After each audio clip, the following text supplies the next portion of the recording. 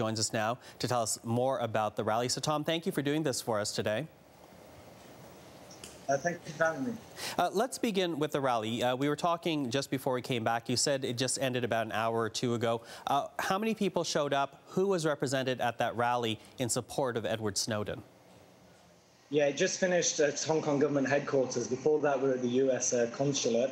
We had 27 local uh, social and political uh, groups on board, six speakers, including uh, three serving politicians, and over 900 attending in the terrible rain, uh, according to an independent head count, which is all quite unprecedented for you know an international issue in Hong Kong. Well, I, I, want to pick up a point that you mentioned there. You, this was not just in front of Hong Kong government headquarters, but you also walked to the U.S. consulate. What happened at the U.S. consulate?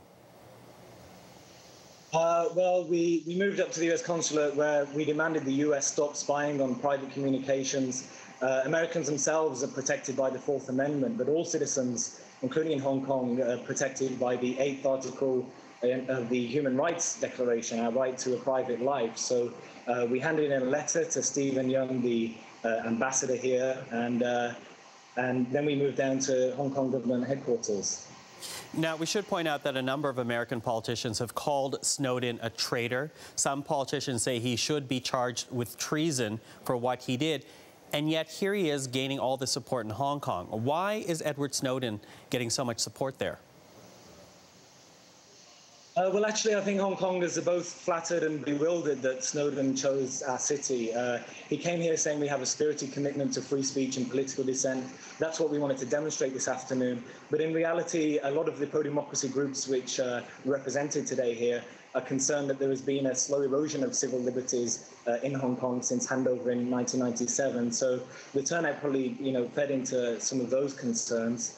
Uh, you know, only I, I, think last year a Libyan dissident was uh, deported, extradited at the request of the UK and US, and he was then tortured. He's now suing Hong Kong for that. So it's a little ambiguous as to how Hong Kong or Beijing may, may react. So uh, we wanted to show solidarity and support Snowden uh, here in Hong Kong.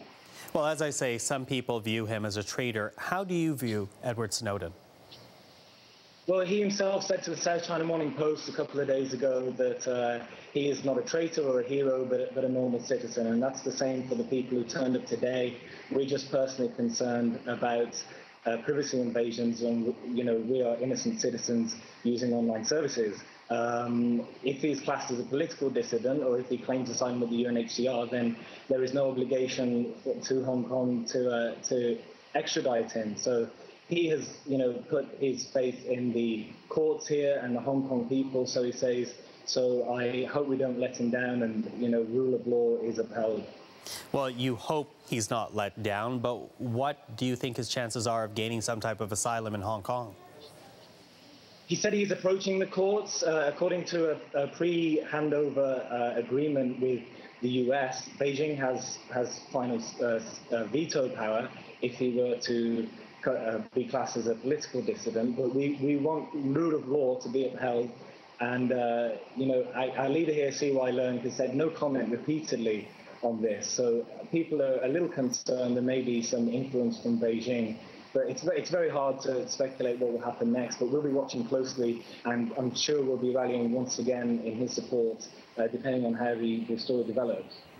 Okay, Tom, thank you for this. That is Tom Grundy speaking to us from Hong Kong.